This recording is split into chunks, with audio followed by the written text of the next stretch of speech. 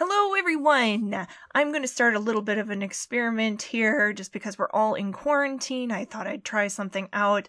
Um, I put out there on Facebook choose a number between 3 and 429.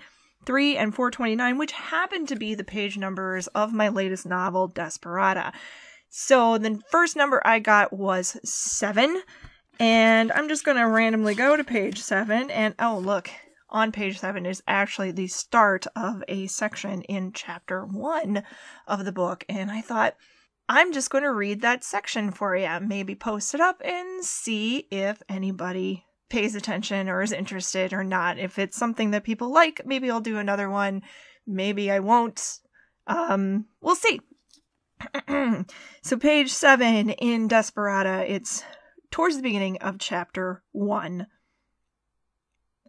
The energy of the place hit him before he got inside. At first, it was the music, quiet and tinny but lively, played from an old piano somewhere deep in the recesses of the building. Then came the hum of chatter and laughter, vibrating through him as he stepped through the swinging doors.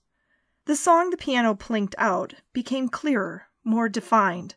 He could make out the familiar tune, one he had heard as a child, spirited and beckoning others to join in if they knew the words. A few of the patrons did, slurring them out in off tone bursts of joviality. The heat was the second thing he noticed stale, stifling, pressing against him like a wool blanket on a warm summer night. Sweat formed along his collar and under his arms. The air felt thick, and he struggled just a bit to breathe. An arm fell about his shoulders, pressing down on him and crushing him into the side of a fat, pudgy young man to his left. Well? A round red face asked him, the smell of alcohol already lacing his breath. What do you think? I think, Tom answered, looking around. It looks no different than the last time I were in here. We were eight, Tommy, his chubby companion replied, and Andy kicked us out before we could even peek at the girls. Tom felt his cheeks redden. Girls? He had forgotten about the girls. But, his friend continued, as of today, we are both men, and dear old Mr. Newhouse will not be able to turn us away, especially, he pulled out his leather money pouch and gave it a shake, since I'll be paying top coin. He released a high pitched giggle and shook Tom's shoulders. Ready to become a man, Tommy? Tom's face grew hotter. Sure, he said shyly, feeling nervous and jittery. Whatever you say, Billy. Damn straight. Billy Vapitas was one of Tom's oldest friends. He wasn't the most honorable of boys he knew. In fact, he was quite spoiled, having been raised in a rich family. He often got away with many a social indiscretion, including thievery, vandalism, and truancy from school. His family owned the local confectionery, and his father invested in plenty of the local businesses so the townsfolk afforded the son some leniency. He was often an annoyance and a troublemaker to most people, but for some reason he always loved Tom. He pulled the delicate young man up to the bar and slammed a few coins down onto the counter for dramatic effect. Andy! he announced loudly. Andy Newhouse was the owner of the Cattleville Inn. He was a short, stocky man with tiny, intense eyes and a balding head, the sleeves of his shirt were often rolled up to his biceps, revealing the massive muscles underneath. When Billy shouted at him, he turned and glared at the young man. Billy Vapitas, he snarled. What in the most holy hell did you want? Today, Billy continued loudly, is my friend's birthday. He slapped Tom on the back, knocking the wind out of him. And I want to show him a good time. Andy pressed his palms onto the bar and leaned forward toward the two young men. Does that good time involve ordering some damn alcohol? Billy paused, blinking at the man. Um, he began with some confusion. Of course. Andy's eyebrows lifted, and his head waggled as he waited. Then order, he said, already exasperated. Tom wasn't sure what the confusion was about. Had Billy expected some sort of argument? Did he expect Andy to toss them both out? To be honest, Tom nearly expected it as well. It was easy to forget that they both weren't little kids anymore. Right, Billy spoke up. Of course. Um, two beers? Andy rolled his eyes and sighed. Coming right up. Billy giggled as the man turned away to fill their glasses. He glanced around and took in their surroundings. So, he said quietly, leaning into Tom, what do you want to do first? We could find ourselves a card game, or, he smiled wickedly, we could just dive right into the girls. I. Tom was nervous again. I may have to work up to that one, Billy. His friend laughed. Cards it is, then. Andy dropped their beers in front of them. And more alcohol. Drink your beer, Tommy. It'll help with them nerves. He grabbed his glass and slammed back a third of its contents. He then smacked his lips and wiped the foam away from his upper lip. Tom tried to follow suit. He pressed his glass to his lips and took in a large drag. It was bitter and not at all what he expected. He forced himself to swallow, giving the glass a squint. Don't worry, Billy said, clamping his hand on his shoulder again. You'll learn to love it. Now, let's find us a game. Billy looked around the room. Tom joined him. A number of games were in progress, most consisting of only three or four men. Quiet games with little talking. Each man was older, more severe. They stared at their hands and played with very little interest in what happened around them. None of them looked very inviting. Do you think, Tom asked, any of them will let us play? He pulled another drag off the top of his drink, receiving mostly foam. Sure, Billy replied cheerfully. I'm sure any of these guys would love to milk a few young bucks out of their money. They won't care that we're beginners. You ain't a beginner, Tom corrected. You've been playing for years. Yeah, Billy laughed, smacking his lips again, having downed more of his beer. With boys. These here are men. They skilled masters. We could learn a lot from 'em. Ain't you afraid of losing? Nah, that's half the fun. His eyes landed on a table in the far corner. Hold up, he said, stopping himself, his face dropping into something far more serious. What? Tom asked. What is it? Billy leaned back over the bar, drawing the owner's attention. Hey, Andy, he called out, waving the man over. Andy, come here. The man rolled his eyes again and approached. What is it? he asked. You ready for another already? No, not just yet. Billy leaned in close to him and pointed nonchalantly to the corner of the room. That far table there. Is that who I think it is? Andy squinted in the direction Billy pointed, then his face dropped. Don't even think about it, Billy, he grumbled. Think about what? I'm just asking a question. The man looked at him pointedly. You're just asking for trouble, ain't you? Ain't it, or ain't it not? Who? Tom piped up, rising to his tiptoes to see. Across the room, nestled into a darkened corner, her back to the wall, was a woman. She looked to be in her early twenties, young, but something about her demeanor hardened her. She had sandy blonde hair that hung over her shoulder in a messy braid, strands of loose, wild hair falling all around her face, wiggling up into the air in wispy tendrils that danced as she moved. Her eyes were dark, concealed by a dirty old gambler she pulled low over her brow. Unlike the other women in the place, mostly the whores, she didn't wear a dress of any kind. She wore an old cotton button down under a tattered brown vest, brown trousers, and a pair of dark leather boots. Over the back of her chair laid what looked like a tan colored duster, and a heavy leather holster draped over the top of it. She had a foot propped up on the chair across from her, and a hand wrapped around a giant glass of something. She stared down at it with such intense stillness, Tom wondered if she wasn't real. It's her, ain't it? Billy asked quietly.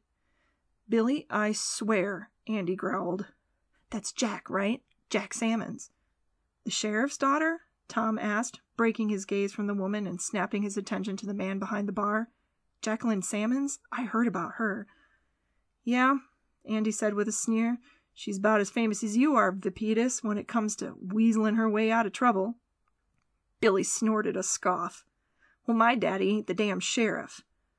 No, the man confirmed harshly. He ain't. She's gotten away with a lot more than I have, the kid argued. I heard she killed a man over a horse, Tom put in, backing himself closer to Billy. I heard she wanted it, so she shot him to get it. That, Andy clarified, is a damn rumor. I also heard that Billy here was a member of the Walden gang. Don't believe everything you hear. Billy scoffed again. I might be. You never know. Yeah, Andy grumbled, pulling away.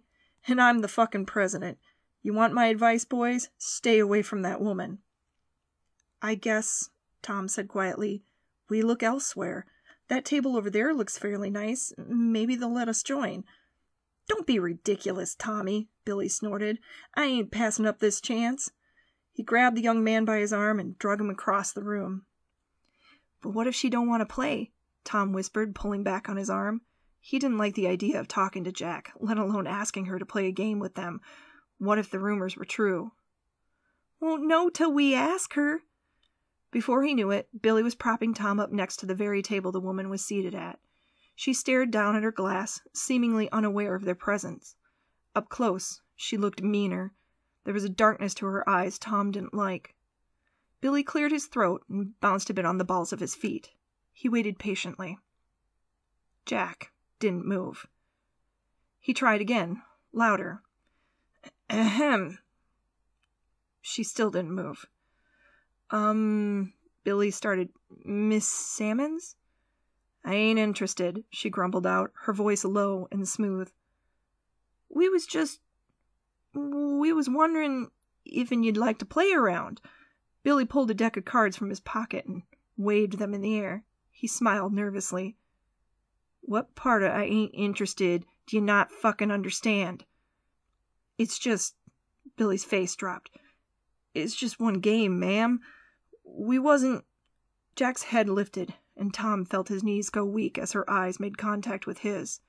She glared at him, then turned her gaze to Billy, scoffing upon seeing him. Billy Vapitas, she snorted. Jesus fucking Christ. She shook her head and pulled her glass to her lips. One game, Billy insisted, gaining his confidence. He pulled the chair out from under Jack's foot, letting her boot hit the floor with a thud that made Tom jump. Billy plopped himself into it and dropped the cards on the table. That's all I'm asking. Jack leaned forward across the table, burning her stare into him. I ain't, she said more firmly, fucking interested. She slammed back the rest of her drink, dropped the glass onto the table, then waved to one of the nearby whores. Failing to get the girl's attention, she snapped her fingers. Hey, she called out, triggering Tom to jump again. Hey, Maggie! You see, Miss Sammons, Billy continued, grabbing Tom and pulling him down into the chair next to him, it's Tom's birthday today, and. Maggie! Jack completely ignored him. Billy trudged forward. Well, he's never played with anyone other than just our group of, well, boys, and. A tall, thin whore slipped swiftly over to the table, giving the bar quick, apprehensive glances over her shoulder. She had long, dark hair which fell over her exposed shoulders in waves. Her skin looked smooth and soft, and Tom felt a definitive tightening in his pants. He darted a glance over at Billy, remembering how his friend had promised him an evening with one of the girls. Tom wondered if this would be the one he'd get. The thought made him sweat more. Jack, Maggie hissed, pulling up next to their table companion. Keep it down. You know how Andy feels about you hollering in his place. Jack's hand grabbed hold of the girl's knee, and not so subtly slipped up her thigh, disappearing into the folds of her petticoats. Aw, oh, come on, Mags, Jack drawled out. You know Andy loves me. She leaned toward the girl, nearly shoving her face into her stomach. Almost as much as you do. She grinned wickedly. It was in that moment Tom realized how drunk the woman actually was. He was too distracted by the darkness in her eyes to notice how bloodshot and watery they were and the weakness in his knees drew his focus away from the slurring of her words. She was, in fact, very drunk. Maggie grabbed hold of Jack's wrist and pulled it out from under her skirt. Jack, she whispered, you know the rules. She looked around to see if anyone was watching. Jack threw up her hands in surrender and leaned back in her chair. Don't touch the merchandise, she cried. I know, I know, but. Her hand reached out again, this time taking hold of a handful of Maggie's skirt and pulling the girl closer. What if I was to slip you a little something? What'll a dime get me? Maggie slapped at Jack's hand. Tossed out on your ass if you ain't careful. Jack laughed and grabbed her empty glass from the table. Fine, then, she said, smiling. How about a refill instead? The whore grabbed the glass and sighed. Fine, she said, but keep it down. As Maggie sidled away, Jack watched her go, her eyes staring with amazing stability at the girl's backside. Tom felt uncomfortable. He glanced over at Billy and saw his companion grinning stupidly. So, Billy said slyly. He waited for Jack to turn her attention to him. She glared unhappily. You fancy the ladies, do you? Forget about it, she replied. I ain't into portly little cunts like you. Her eyes darted up and down, scanning him. Tom snorted out a laugh. He couldn't help it. The look on Billy's face was priceless. He stifled it when his friend shot him an angry glare. Billy, not to be outdone, came up with the only retort he could think of. I heard you once killed a man for his horse, he said, giving the woman a smug look. Truth or just rumor? He leaned back in his chair and waited for an answer. Jack had one. And I heard your father give Stavros hand jobs after hours, she snarled back. Any fucking truth to that? Billy's jaw snapped shut and his eyes narrowed. Or that they both like sucking each other off behind the church on Sundays. Heard that fucking rumor too. She leaned forward over the table and glared at Billy. Maybe you shouldn't be believing every fucking thing you hear, you fat little prick. A tense moment hung between them as Billy worked his jaw around, trying to form words. You think you scare me? he asked quietly. Jack's eyebrows raised. I don't give a shit if I scare you, she returned. I just don't think it wise for you to be coming over here flinging your wild accusations round. She leaned back into her chair, especially when the bitch you're flinging 'em at has a fucking gun. So you didn't kill that man, Tom interjected. When her eyes darted to him, he flinched, feeling her glare all the way down to his ass, which nearly unloaded its contents. Despite what you may have heard, she began, I have never killed anyone. She looked back at Billy. I've shot people, yeah, but I ain't no murderer. Well, Billy piped up, sighing heavily and forcing a pained smile, ain't that a relief? He giggled nervously. Glad we cleared that up. He leaned forward and retrieved the deck of cards from the table. So, how about that game? Jack stared at him for a moment, pondering. She licked her lips and squinted at him. You got money? The kid snorted, then pulled out his money pouch dropping it on the table. The weight of it hitting the wood was enough to bring a satisfied grin to Jack's lips. All right, then, she said, grabbing her sleeves to roll them up. Your deal, shithead.